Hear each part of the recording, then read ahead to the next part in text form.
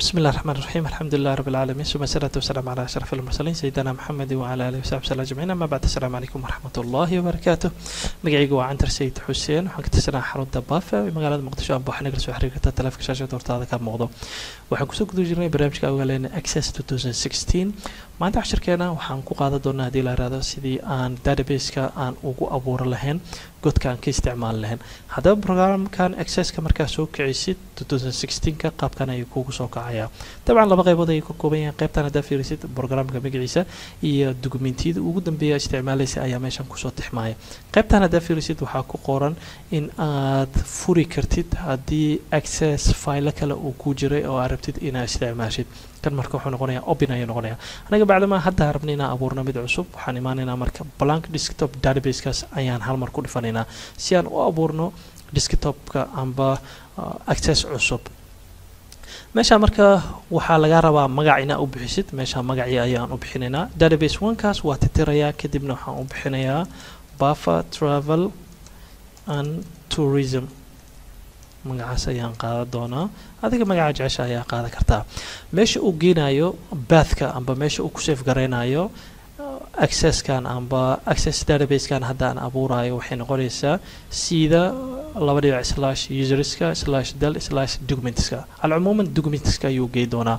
Haddii aad jeceshahay inaad meel kale aad dhigatid tusaalehaan amba desktopkaaga amba flash diskigaaga amba external hard drive haddii aad jeceshahay inaad samaysid waxaa ku qasbantaa marka inaad browse garaysid.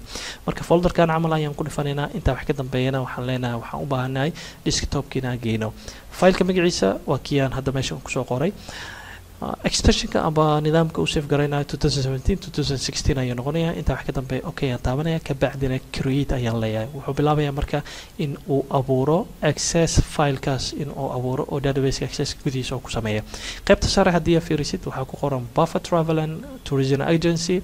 Waa midka hadda aan sameynayo noqonayaa formatkiisi wixiisa dhan. Ilaa hadda wax abuuran ma leh. Waxaan bilaabi doonaa inaan table abuurno. Dabcan waxay noqonaysaa marka haddii aan rabno in aan xirno waxay noqonaysaa marka inaan calaamadaas x-ka aan ka xirno. Qaabo badan ayaa xiri kartaa calaamadaas x-ka waa ka xiri kartaa sidaasi la mid waxaad taaban kartaa file. Intaa wax ka dambeeyana closekaas waa taaban kartaa waxaa kaloo taaban kartaa wax loo yaqaano alt f fourna waa taaban kartaa control w waa taaban kartaa meeshaan double click waa sii kartaa waa xiri kartaa laakiin kan ugu caansan wuxuu noqonayaa haddii la isticmaalayo muuska in calaamadaas istalaabta amba closega gujisid amba alt f four aad taabatid si deg dega haddii aad jeceshaa keyboard shortcutka inaad isticmaashid.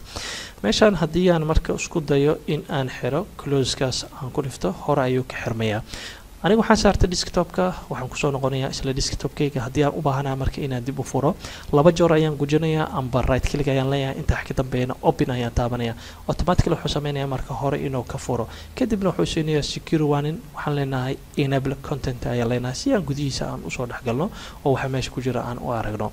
Maanta insha allah taala cashirkan intaas ayaan ku hakinaynaa intaa cashirka cashir la mid aan kulmayna waxaan idinkaga tagayaa sidaas iyo nabadgelyo subxaanaka allah bixamdika ashhadu an laa ilaha illa anta astaqfiruka waatubu ilayk. Wasalaamu calaykum waraxmat الله وبركاته.